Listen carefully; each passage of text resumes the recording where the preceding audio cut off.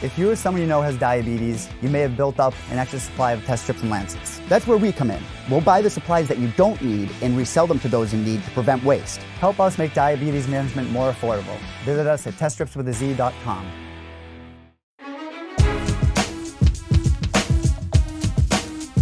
All right, we have Sabina Mazo on the show. What an impressive performance she had on Saturday night to kick off UFC 241, defeating Shana Dobson in Anaheim, California. Welcome, Sabina. How are you? I'm very good. Thank you. Thank you for inviting me to the show, and I'm feeling great.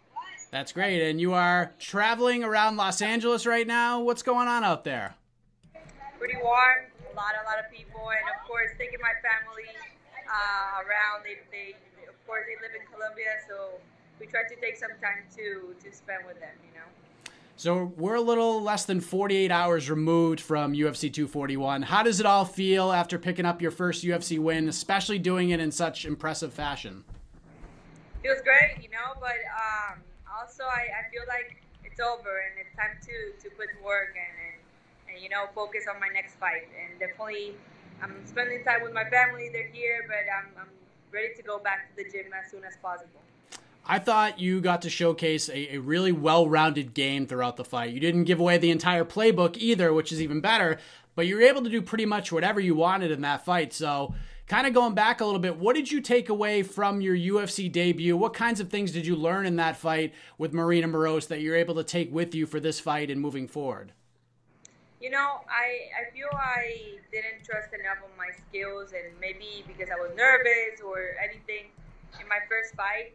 But uh, and of course, Marina's an excellent opponent. It was a good fight, but I feel I didn't put everything I got in there, you know, and that's what I learned the most from my debut.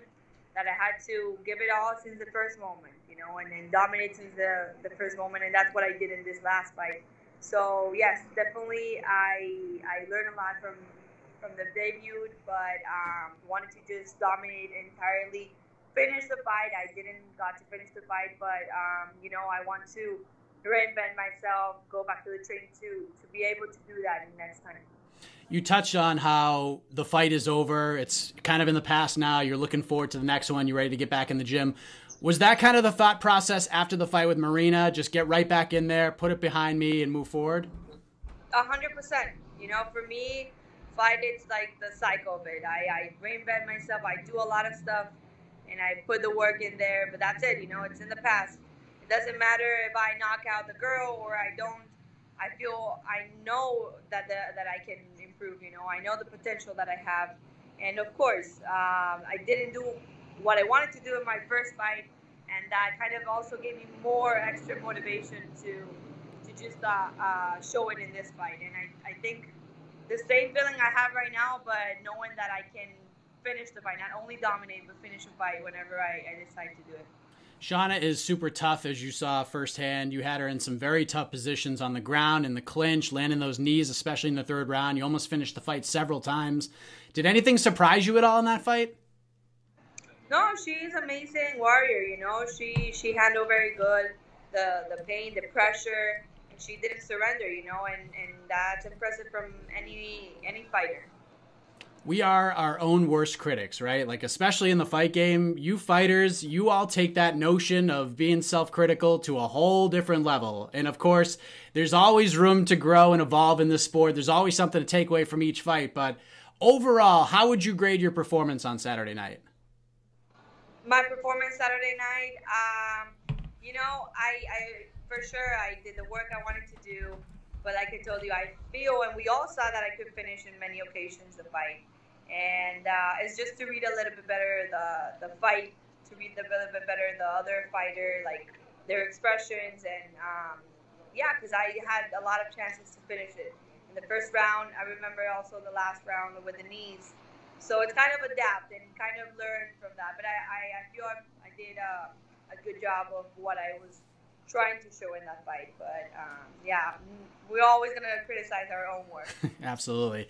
I spoke with Shana a few days before the fight in Anaheim, and she had told me that the buzz in the area, the momentum of the card in that area changed as soon as Nate Diaz arrived on Wednesday. So, being on a fight card with Nate, being part of such a huge event with these massive fights, these legends, what was that like for you? Man, the vibe was amazing. Since I got there, you could tell the card was gonna be amazing. All the fighters there, um, and it was it was amazing. It faced off everything with the ideas, the big names, and one of the things that um, every time I see different fighters, it's, it's a great vibe. It's a great environment.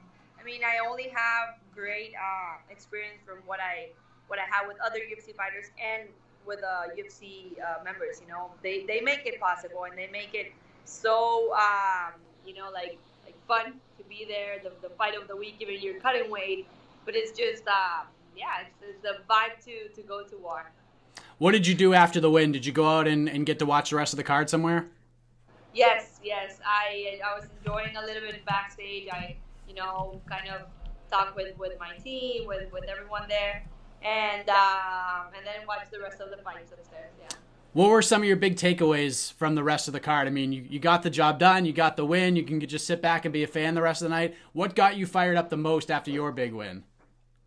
Yeah, that that's the best part. You know, for me it was an honor to open the card, but also I was happy because I could enjoy the rest of the fights. I, I don't get to do that that much, so it's, it, it was really cool. And um, one of the best fights I, I think it was the Yoel Romero fight.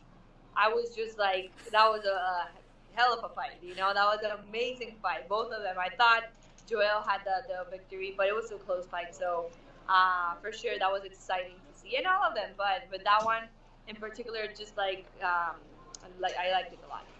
Any bumps and bruises? Anything of, of note or concern heading out of that fight?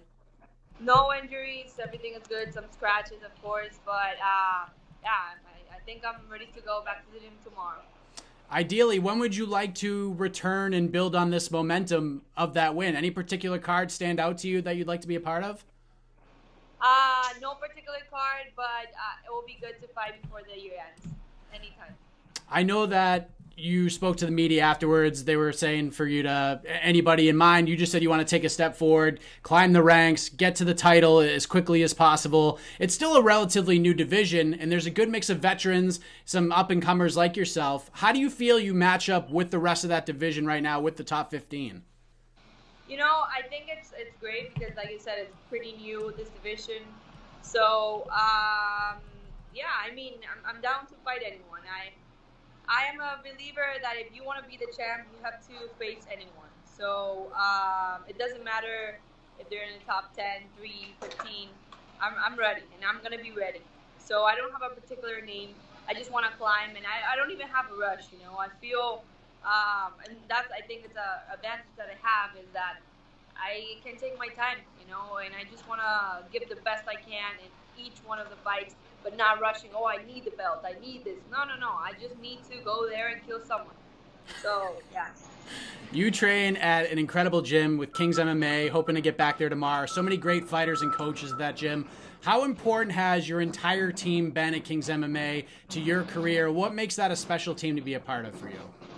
It makes total difference. You know, for me, the the journey has to be enjoyable. You know, because fights happen really fast you know, we're talking about something that happened two days ago or one day ago, I don't know. And uh, it ha- it's really fast. So for me, the journey is really important. And I guess, and I feel Kings MMA has made it super enjoyable. I, I learn every every single day. So yes, for sure, it changed my life, and I decided to stay in California because of that. You know, I come from a different culture, and just because of the gym, the vibe there, the people, the champs, master, the coaches, everyone, I I now I can call this home. What have you learned the most since moving out to California? I know it's very traffic laden, as we talked about uh, off air via the Skype messenger. What have you learned the most about LA, about that area, and is it kind of a was it kind of a culture shock at first for you? You know, the vibe in California is amazing. It's amazing. Of course, it's a little crazy in LA area. I don't live here. I live more in Huntington Beach, but uh, it's just the people. Everyone is super nice, fresh, and, and I kind of uh, adapt really easy to that. You know, it's, it's people are really easygoing. So uh, yes, that's what learned Sabina Mazo joining the program. Incredible performance on Saturday at UFC 241. And as my friend, the great James Lynch, pointed out at the post fight media scrum, tied for second in UFC history in terms of dominance on the judges' scorecard. So, congratulations, Sabina. Before we let you go, and I'll let you go hang out with your family, I won't take up much more of your time. Let the folks know where they can find and follow you on social media. Any shout outs, anything else you want to get off your chest, the floor is yours. Thank you. Well, thank you for the interview, for your time, and to spread the word and from MMA. And uh, you can find me social media, Sabina Mazo, everywhere. Social media, Instagram, Twitter. And uh, yeah, to the fans, you know, because of them, we're here too. Great stuff, Sabina. Congratulations on the win. Enjoy the time with your family. You deserve it. Thank you very much. Have a good day.